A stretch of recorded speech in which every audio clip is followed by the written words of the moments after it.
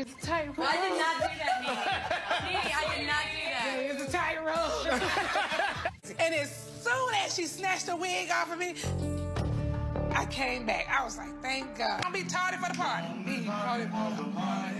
Hollywood. Starts at 9.30. I'll be there by 8. By 8.30 on the driving. I'm about to play. Already hanging down this party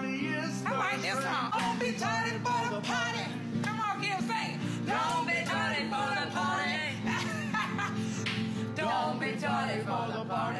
That's it right there, kid. Don't be tardy for the party, for you know that it would be a sin. Yeah, a sin, a sin, a sin. What's up, love?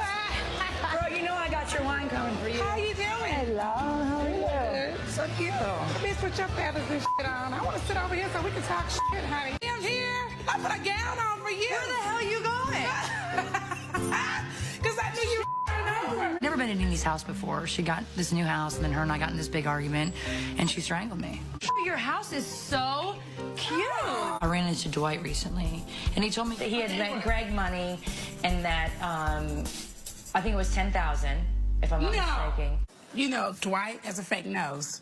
His nose is closed so tightly that the, he needs to go get it reconstructed to open it back up. He can't breathe. He's like, yeah, I have fun with Nene. I mean, 99.9% of the time. As long as she's not choking me, we're laughing. How did